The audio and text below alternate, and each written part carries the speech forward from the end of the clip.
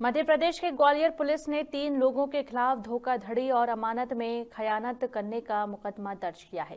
दरअसल शिवपुरी के रहने वाले गौरव शर्मा को ग्वालियर में एक फ्लैट चाहिए था। इसके लिए उन्होंने राजेश थापक, यीशु थापक और अभिषेक शुक्ला से संपर्क किया।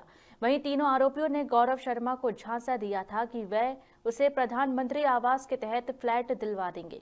इसके लिए उन्होंने लगभग सवा पाँच लाख रुपए से ज़्यादा की रकम गौरव शर्मा से ईंट ली।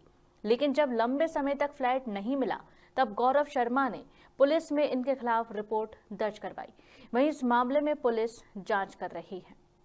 हाँ, ये 2021 से 2022 के बीच में फरियादी का ऐसा बताना है कि पाँच लाख उनतीस हज़ार से कुछ ज़्यादा पैसे ये तीनों ने ले लिए थे और इनको बोला था कि प्रधानमंत्री आवास योजना का फ्लैट इनको दिलवाएँगे। और जब ये बात कर रहा था तो बार बार ये कह देते थे कि वापस कर देंगे पैसे या दिलवा देंगे। तो वो इंतज़ार करता रहा। और जब उसके पैसे वापस नहीं हुए और इन लोगों का किसी तरह कोई संपर्क टूट गया उनसे तो फिर इन्होंने एफ़ आई आर कराई है और हमने तीन आरोपियों पर एफ़ आई आर करी, उसको इन्वेस्टिगेशन मिली